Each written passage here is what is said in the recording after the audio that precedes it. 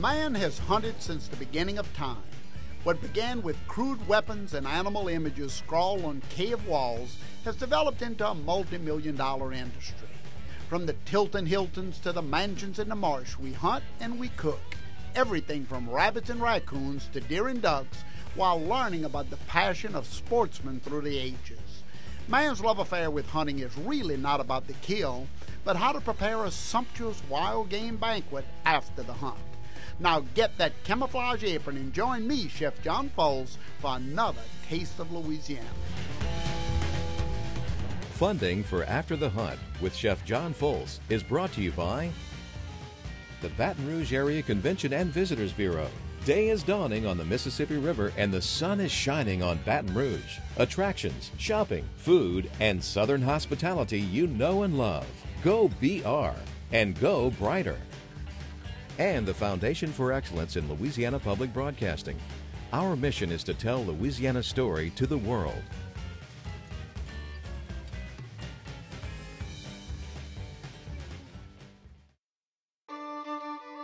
And by the Louisiana Department of Culture, Recreation, and Tourism. Vacation planning guides are available at louisianatravel.com. You wait all year for your vacation.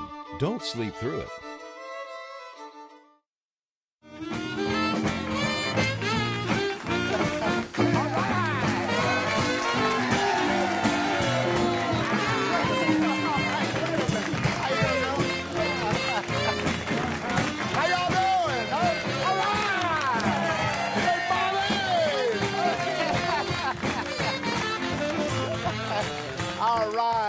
Bobby Lonero, don't y'all just love him over there? Huh? New Orleans. hey, everybody, thank you so very much for joining me in Sportsman's Paradise for another edition of A Taste of Louisiana. I am absolutely delighted to have most of you in the studio today. I mean, uh, you know, I, I won't point you out, you know. Y'all, as I've traveled over the state uh, over the last couple of years, one thing has become crystal clear to me that hunting is very big business. While many clubs are jointly owned by recreational hunters, just as many private reserves have made hunting a luxurious, personalized experience, attracting hunters from across the globe. On more than one occasion, I've been the guest at one of Louisiana's premier hunting camps, and I have to say, one of my absolute favorites, Giles Island. Let's take a look. Giles Island is a place of legend. In 1541, Hernando de Soto discovered the Mississippi River just north of here. Once a working plantation adjoining the North Bluff of Natchez, it was also the site of duels in the early 19th century. Jim Bowie participated in a squabble here known as the Sandbar Fight. Bowie was shot twice, stabbed in the shoulder, and also had a cane sword run through his, his chest, and he survived, and he killed two men. Which earned him the reputation of being an unparalleled knife fighter and creating demands across the South for the now famous Bowie knife. Giles Island is a large secluded island in the middle of the Mississippi River between Ferriday, Louisiana and Natchez, Mississippi, accessible only by boat. Why do people come to Giles Island? I'll tell you why. That's to get a, a buck of a lifetime, uh, to bring their children to get their first buck, to see trophy bucks that are very unusual. You won't find them on many places because we manage them so well here. Speed Bancroft fell in love and purchased this woodland paradise in 1992, immediately initiating an intense wildlife management program and developing facilities for recreational hunting. Giles Island is truly a deer hunter's paradise with 9,400 acres of land ranging from dense thickets to wide open fields and is recognized as the premier fair chase trophy whitetail buck destination in the South. I mean, you, you can't kill a big buck unless you go where big bucks are, and we have the big bucks.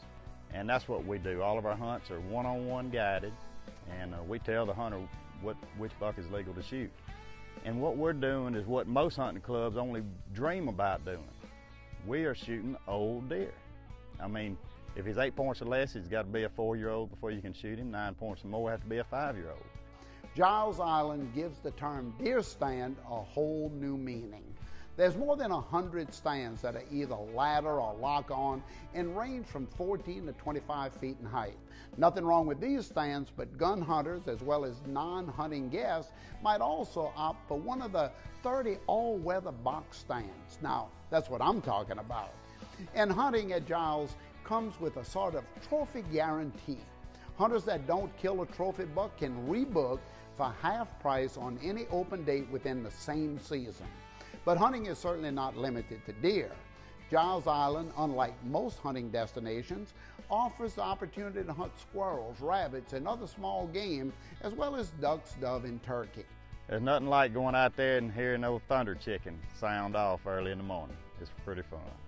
A turkey hunter just gets wrapped up with it. I mean, he gets consumed during, I mean, almost, you almost lose your family, you know, your kids hate you during turkey season.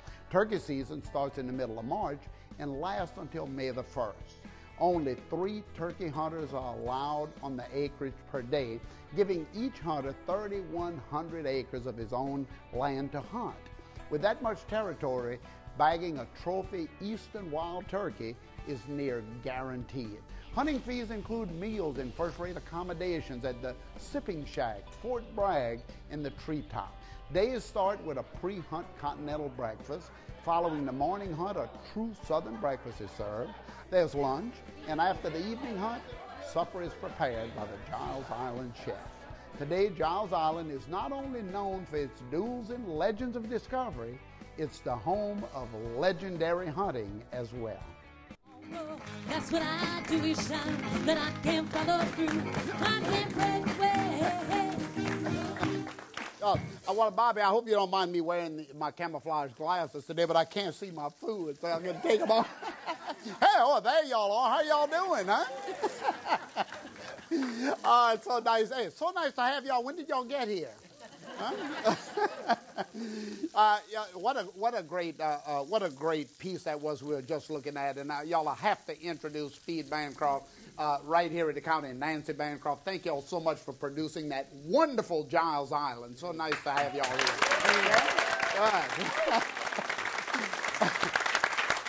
Thunder chicken, right? Thunder chicken, huh? Jimmy Riley, he's, he's in charge of, uh, well, he manages Giles Island, but also uh, when, when I get invited to hunt there, which isn't often because I can never hit anything, but they, will let me come when nobody else is there.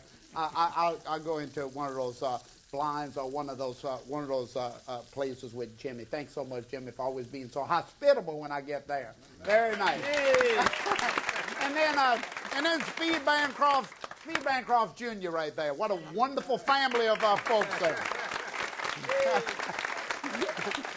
Y'all, we're talking today about venison, needless to say, and uh, and one of the things that I that I always ask hunters to do is this: when you go out and hunt, don't only think of the primal cuts, the, the, the roast and the filet mignons and all of those wonderful things.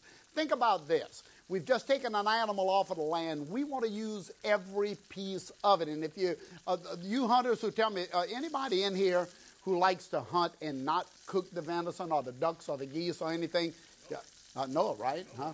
You're, you're the kind of hunters I like. You eat every single thing the feathers, the feet, right? All of that, huh? uh, the skin. Hey, good guy, y'all tan the hides. What good people you are, huh? Y'all wonderful.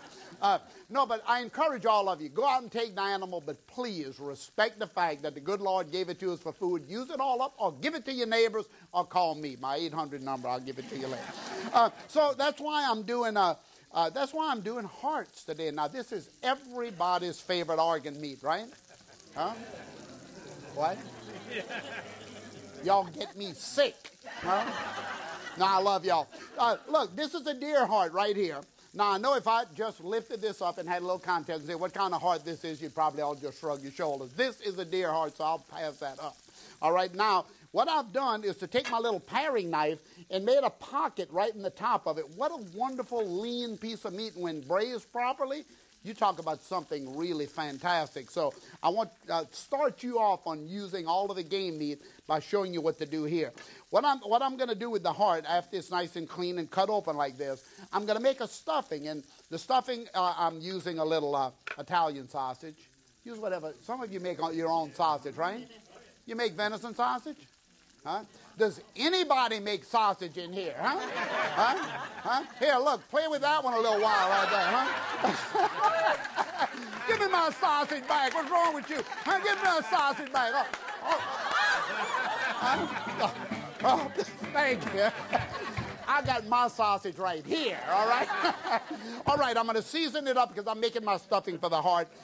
Y'all playing with your food. Didn't your mother tell you about that already, huh? garlic, onion, celery, bell pepper. I'm going to come into that with a little salt, a little pepper. You, you, y'all with me here? And I'm going to, a little adobo. You know what this is? Poblano peppers with a nice spicy uh, taste to it. That's going to be great. Garlic. Oh, I need more garlic. Right there. Now, while I'm making the stuffing here, I have to ask uh, Speed Bancroft here. Uh, you bought an island and turned it into one of the greatest hunting reserves in the world. I'm going to say the world. Why did you do that? I like to hunt. yeah. How many acres? 9,400 acres. 9,400 acres, huh? And I only got invited once last year. 94, what, 9,400? I mean, he's going to put me in a corner over there somewhere, right? Huh? Huh? We'll talk after, okay? Huh? In fact, since I was only invited over there once, you get to eat a heart. Okay. uh, now, now, now, now, now, tell me about the island. What makes the island so special? Well, it's got history as well as wildlife, uh, beauty, aesthetics, and a lot of good trees. Right. My hobbies in trees. Now, now, you do a magnificent job of tree planting. How many plant? How many? Now y'all harvest some hardwood off of the island, but then at the same time you're putting back trees at all times, right? Mm, yes. Yeah. And and but uh, what what about fruit trees too? Not only hardwood. A lot of fruit trees. Yeah. I like to put some of those olive trees that you have. Yeah, olive and, and also kumquat. You need kumquat, to put some yeah. kumquat down. Yeah. He and I ride around Giles Island and we talk about what kind of trees to plant while big bucks are running in front of it. like, like, like, like, like, like, this gigantic buck will run in front of it. They say, why don't you put an olive tree right there? anyway, y'all, hey, I've stuffed the heart. I'm going to put a little skewer in here like this. You can take a string if you want to and just kind of tie it so that it doesn't all come out. But I have some already done. Y'all with me? You know where I'm at? Use your own sausage stuffing, whatever. I've got some already brown here. Now, let me tell you what I'm going to do. Now that they're all brown, if you have any stuffing left, by the way, make some of these little boulettes, right? So now I'm going to come into my skillet with, look how beautiful these are right here, all nice and golden brown, already stuffed. Now into that, my uh, onion, celery, bell pepper, all of and garlic, y'all. I use big garlic for this one. I'm going to throw in the whole clove of garlic. Y'all see that? And a lot of onions. A lot of these wonderful red onions in here. Oh, isn't that beautiful? Huh? Can y'all see that or what? Huh? Isn't that nice? Oh, absolutely. Now, and then, then I'm going to take the little boulettes, the little balls of the seasoning, and I'm going to drop those in as well. And what I'm going to do now is to take the, uh, the skillet over to my venison stock pot, and I'm going to fill it up with a wonderful flavor of the venison stock. See that? Now, this is going to go into about a 350 degree oven uh, with the lid on, and it's going to cook for about two and a half hours because these uh, the venison heart stuffed will be so tender. I always put a lid on the top of them. Go into that oven. You can cook them on top of the stove if you want to, but go into the oven. You don't have to touch them after that. Just put them down in there. And when they come out, they are so nice and tender. Take a look at this right here. I've sliced them with the stuffing in, just right here. You see that? Huh? Look, get a good shot of that right there. See the stuffing right in the middle? Huh? I tell you what, makes me think of calling family to come over to eat tonight, huh? they always want to come over when I'm doing the fillet. They getting the heart tonight, huh? uh, well, y'all, I tell you, we had just absolutely a great, great uh, experience at Giles Island. And while I was there, we got together in the kitchen and we cooked venison tenderloin with a kumquat glaze. That's why I want you to do the trees. Y'all, watch Speed and I cook venison tenderloin. Y'all, I'm here at beautiful Giles Island right outside of Natchez with uh, my good friend Speed Bancroft. owner of Giles Island, and today we're, we're having a little party. And I'm, I'm, I've decided to serve venison tenderloin. I mean, the tenderloin is the most flavorful of all of the, uh, the cuts of venison. I think very. Uh, you're a big deer hunter, so you know that this is prime, right? Right. This is the best. It, this is the best it It's gets. the best. No, not to do a good roast, but uh, but for, for good friends, you want to go with the tenderloin, right? Right. Now, what I'm going to do, I'm, I'm going to cut them into little medallions like this, and I'm going to season them with salt, pepper. Does this crowd like um, spicy food? or- Oh, they do. okay, we're gonna pile it on for. Yeah. Now, uh, now Giles Island, we've been uh, taking some beautiful tours here. How many acres on the on, on the island? 9,400. 9,400, and and people come here not only to have good food and fun, but I mean this this is trophy buck country, right? It's the best bucks in the world The best bucks. Now, you've uh, how long have you had Giles Island? since 1992, about 18 years. A labor of love, I bet, huh? It has been. Yeah, no. So I'm taking the uh, the tournedos, uh, the tournedos of venison, I'm gonna call it, with kumquat glaze. Now these are cooked very, very quickly, so I'm not in a. Uh, I, I don't want to don't want them to sit in here too long because you can see there's not much marbling, not much uh, marbling in the in the meat at all. So I, I want to just kind of cook it quickly. Medium rare is perfect for this. So with that, I'm gonna. What kind of wine goes with this? Red wine. Any kind. okay, now I'm going to go in. The, the venison is almost done. I'm going to throw some little shallots. Of course, you know the good thing about cooking venison. Anything goes with it. It loves fruit mm-hmm. because you planted a lot of fruit trees: apples, pears, plums, and the deer will eat that. So naturally, it's going to be good to cook with Yeah. as well. I'm going to put some herbs: basil, thyme, tarragon. I'm going to put a little bit more granulated garlic, and I'm going to turn this over one more time. Can I borrow uh, a little bit of that red wine of You yours? certainly can. Can I borrow a little bit of it? Let me get a little bit. there you go. A little bit of it. There you Wow. go. Now I'm going to put some glass. This is a good good stock, a good a venison stock that I made. And then I'm going to put kumquat. Talk about fruit. This is a beautiful kumquat. Kumquat jam right here. is going to go inside. I tried to plant some of those on the island. kumquat. I, Oh, did, I these- didn't make it. Oh, these ought to grow well here, huh? Kumquat. These are candied kumquats. Yeah. Now I'm going to stir that around a little bit. The sweetness is going to be great with the venison. And then to finish it, very, very simple. I'm going to do three of the tournedos right in the center of the plate like this. This is already done. And I'm going to center it right like that. Put a little bit of this beautiful gloss right on top with those with that wonderful uh, kumquat, and I can even garnish it with a little bit of these uh, green onions and speed. That's the way it is right here with Boy. venison tenderloin taken right off of Giles Island. Isn't that fantastic? That get, a, get a sniff of that. It's your wine. Wow. it is We're gonna wine. feed these guys. Yeah.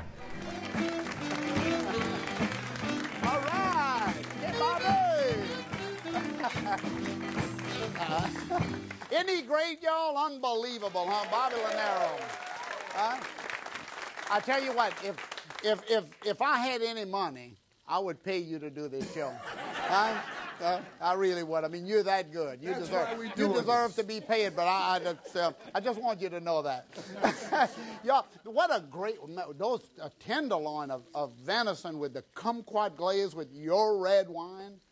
Oh, that was good, huh? It was good. That was really good, huh? Well, a- anyway, it was uh, what a great night we spent there in that Venice. People just, uh, I, I don't know if people really realize those who say they hunt but don't like to eat the meat. I just don't think you're you're looking into those books and, and searching out those great recipes. Or thank you for watching the show because we're going to share them with you. Anyway, now what I want to do is uh, another underutilized cut. I'm just taking some stew meat that would normally be ground probably into sausage. Y'all know what I mean? Everything goes into sausage, right? Huh? Oh, there's a deer. Grind him up, huh? Grind him up. Let's go. Put some Italian seasoning in and Cajun green onion. That's a green onion deer. That's an Italian deer. Stop it. Stop it. Let's go and take some of those cuts and reserve them for things like this. And of course, nothing better than a nice lean venison going into a soup. Why? The moisture is going to give you a wonderful flavor, and at the same time, it's um, meat that's coming from the harvest, from the hunt. That's going to be just a great way to use it. So stew it, braise it, and make soup out of it. So take a look at the uh, meat, the stew meat, how beautiful this is. So I would uh, never put this into jerky or put this into uh, uh, into sausage when I could make a good soup or braised stew out of it. But let's look at the ingredients going into the soup: onions, celery, bell pepper. Look, uh, uh, soup. So I have a little bit of the uh, uh, green beans. Okay, y'all, so I have, y'all come over to my pot over here. So now you see all of my ingredients, a lot of garlic. Look how I've browned the meat. I want y'all to take a look uh, into this pot. You see the caramelization on the bottom, all of this nice stuff down here.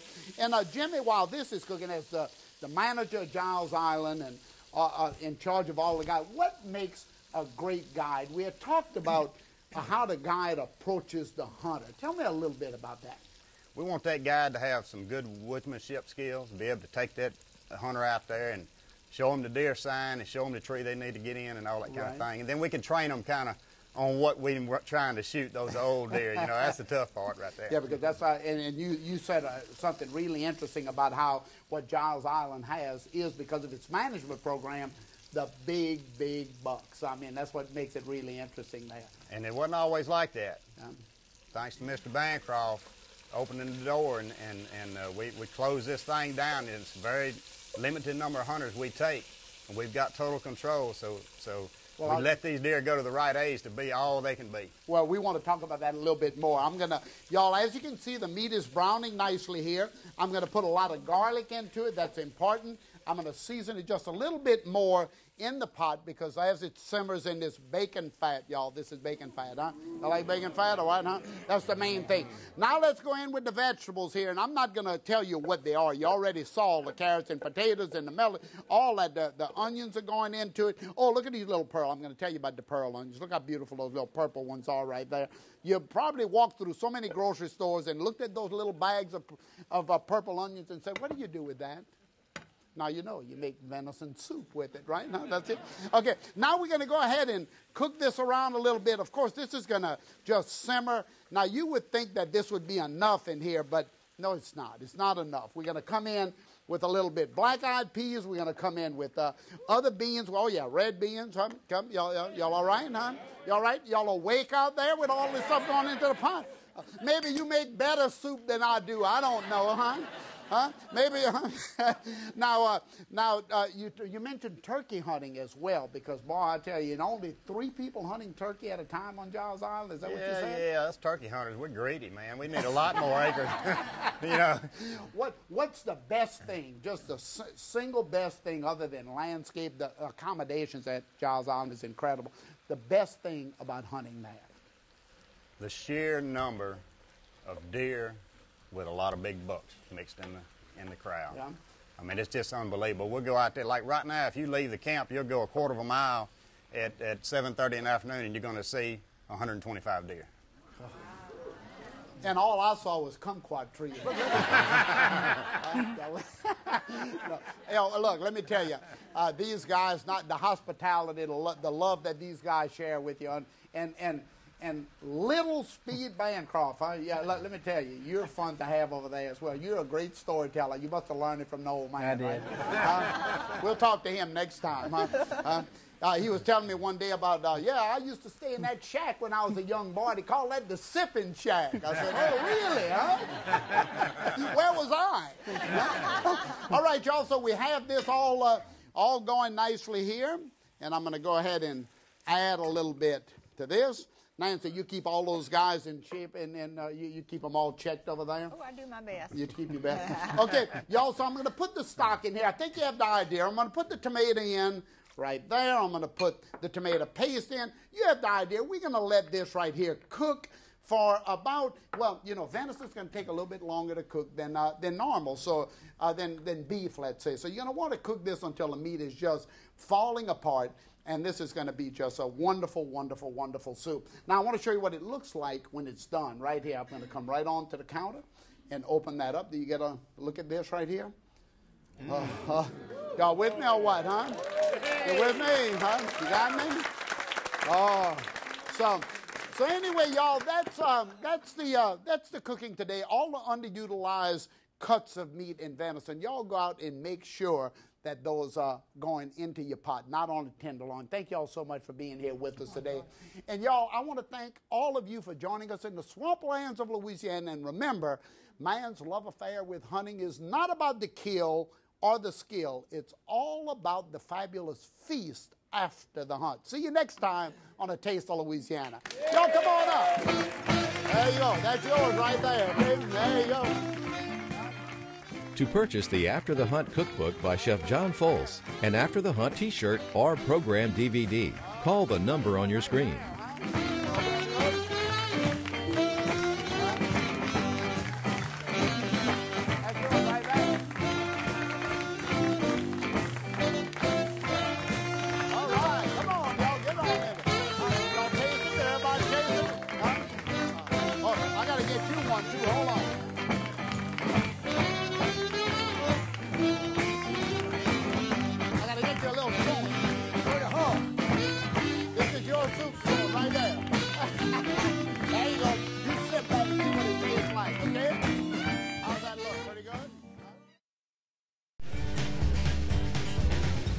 For After the Hunt with Chef John Folse is brought to you by the Baton Rouge Area Convention and Visitors Bureau.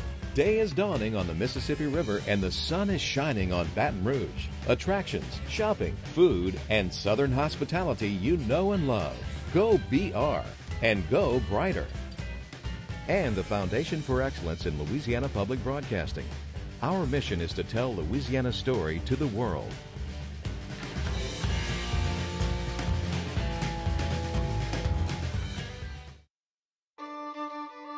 And by the Louisiana Department of Culture, Recreation, and Tourism.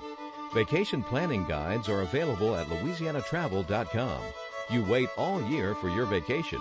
Don't sleep through it.